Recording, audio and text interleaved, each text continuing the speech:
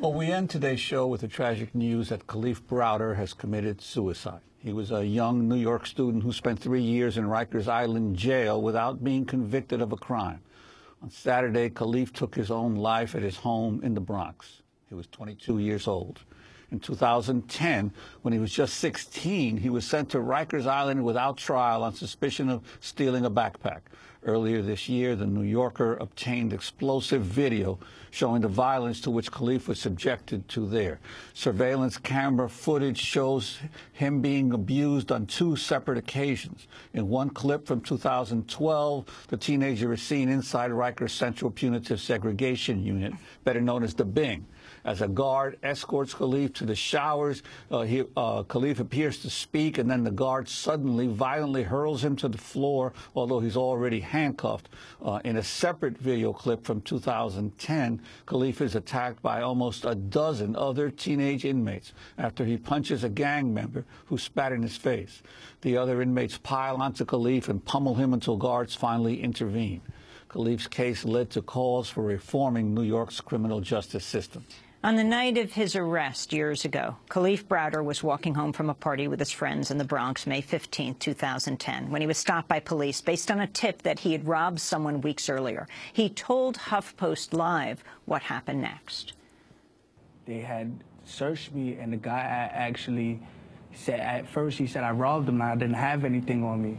And that's you when say nothing, you mean no weapon and none of his no property? weapon, no money, anything he said that I allegedly robbed him for. So the guy actually changed up his story and said that I actually tried to rob him, and then another police officer came and they said that that um I robbed him two weeks prior, and then they said we're gonna take you to the precinct, and most likely we're gonna let you go home, and then I, I never went home. That's right. Kalief Browder did not return home for 33 months, almost three years, even though he was never tried or convicted.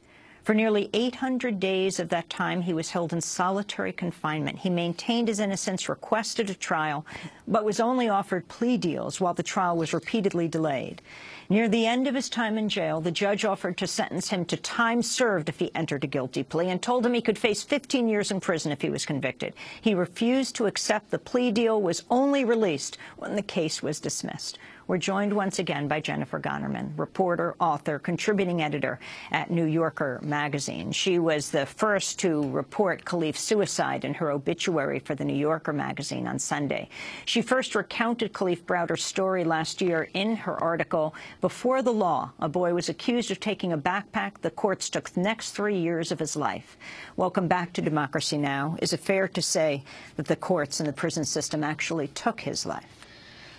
You know, I don't know what was going through Kalief's mind in those last few minutes, but it's without a doubt that he was um, completely traumatized by those three years that you talked about when he was trapped on Rikers Island, uh, despite never having been convicted of a crime, brutalized by um, officers and fellow inmates alike, as your, you know, as your viewers saw in that video footage that you guys showed. Now, he had attempted suicide while in jail numerous times as well. And after coming out, could you talk about that whole uh, experience and process, or what he what he told you about that? Certainly, he. Um, spent about two years in solitary confinement on Rikers Island and attempted to end his life several times while he was there and um, described some of those incidents for me. And I wrote about some of it in the New Yorker. And then after he was released, he was um, released in 2013. Several months later, he again made another very serious suicide attempt and spent about a week in a psychiatric hospital.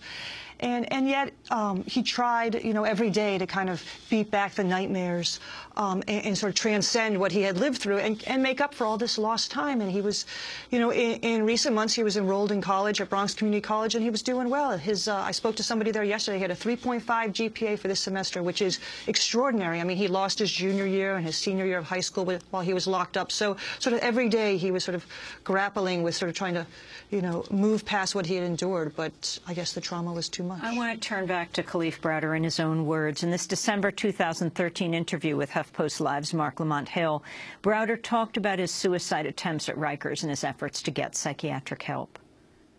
I would say I committed suicide about five to six, five or six times. Okay, you attempted suicide five to six times. Yes. While all, in, all while still in prison. Yes. Wow. And I, I, I try, I tried to resort to telling the correction officers that I wanted to um, see a psychiatrist or a counselor, something. I was telling I need mental help because I wasn't feeling right. All, all the stress from my case, everything was just getting to me, and I just, I just couldn't take it. I just needed somebody to talk to. I needed to just let, let, let. I just needed to be. I just needed to talk and be stress free. But the correction officers, they didn't want to hear me out. Nobody wanted to listen. That is Kalief Browder. Now, again, he went to jail when he was 16 years old, never was tried. He was, the judge said he could get out if he just pled out. And he said, no, I'm not guilty. And that moment actually happened. He had been locked up for you know over two and a half years at that moment. So he had gone through all this incredible trauma and was given a chance to walk out the door. And almost anybody would take that opportunity, just put in the guilty plea to anything, just to get home. He refused. He said, "I did nothing wrong," and he just wanted that trial. He hung himself on Saturday. Mm -hmm. Yeah.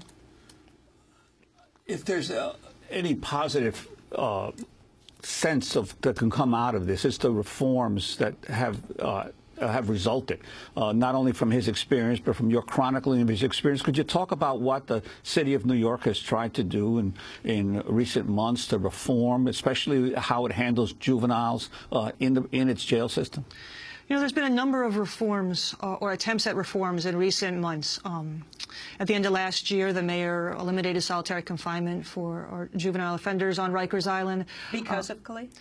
I think that was part of it. That wasn't the only contributing factor. I mean, the New York Times has been doing very aggressive coverage about the outrages on Rikers Island. Um, but Mayor Bill de Blasio did cite uh, Kalief's case a couple months ago when he talked about a new initiative to try to speed up court cases, especially in the Bronx, but across the city. And that sort of excessive court delays that have been going on, that was part of the reason he spent so much time in jail. They're trying to address that. Now, whether these reforms are going to lead to lasting change, I don't know. I mean, we can only sort of hope that, that you know, that uh, his death is not in vain and that real systemic change happens. As we just briefly said what happened to him in jail, aside from just being jailed at all, all.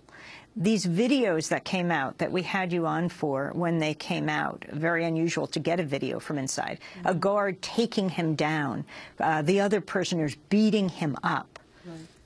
I mean, it almost defies belief. You know, he had told me from the first moment I met him stories about being abused on Rikers Island, um, and I never doubted him for a moment. But I think as an outsider, it's almost impossible to believe what he lived through. And when you see it on those videos, I mean, it was disturbing to watch those videos several months ago when we put them online, but to watch them now in the wake of what happened, I mean, it's almost it, it's just it's, almost, it's just unbelievable. And you reviewed the videos with him uh, before deciding whether to publish them right. or post them or not. What was? Could you talk about his reaction, seeing seeing the, or reliving it through the through the video as well? The, what yeah, happened to him? Yeah, you know, the, from the first moment I met him, he said, "Jen, you have to get that video from September 23rd, 2012, when this off sort of threw me to the ground and assaulted me."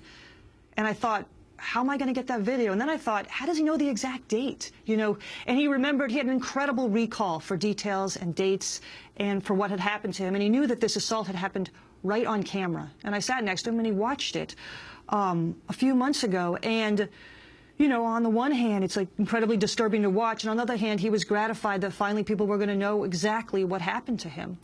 Um, and it was just, you know, it was the whole thing is just so, so disturbing. It's almost beyond words. Was he suing the New York City system? Yeah. He, he, he has been for, you know, um, almost two years, had a lawsuit against New York City, against the Department of Corrections, the district attorney, for his case, hoping to get some justice. And like his criminal case, his civil case has been dragging on and on. And he's been through, you know, many days of depositions, which essentially means sitting in a room with city lawyers and being grilled about exactly what happened, including being grilled about his suicide attempts on Rikers Island. So he is survived by his mom. Uh, and could you talk about his family? You spent this weekend a number of hours there. His family is, is his very... His mother is who found him. Right. His family is very private and um, didn't want to, you know, be public or talk publicly about what happened. But as you can imagine, is, is completely, appeared to be completely devastated and confused and angry, as you would imagine, uh, you know, by, by, this, by this tragedy. And was he under under treatment for uh, depression, or was he on? Uh, was he had, had prescription drugs as a result of his his uh, numerous uh, suicide attempts? Yeah, no, he was he was uh, had some was getting some treatment and was on um, medication at the time and had been for many months. Well, Jennifer Gonnerman, your work in introducing the world to Kalief is so important, and I'm so sad that we have lost him now at the age of 22. Jennifer Gonnerman is staff writer for the New Yorker magazine. She was the first to report uh, Kalief Browder's suicide in her obituary for him in the New Yorker on Sunday. She previously recounted Kalief's story in the article headlined Before the Law, a boy was accused of taking a backpack the courts took the next three years of his life, and we'll link to that story. That does it for our broadcast. If you'd like to get a copy, go to democracynow.org. Democracy Now! is produced by Mike Burke, Renee Feltz, Aaron Mate, Nermeen Shaikh, Steve Martinez, Sam Alcoff, Hany Massoud, Robby Karran, Deena Guzder, Amy Littlefield, Anna Ozbek, Mike Filippo, Miguel Nogueira, engineer. Special thanks to Julie Crosby. I'm Amy Goodman with Juan.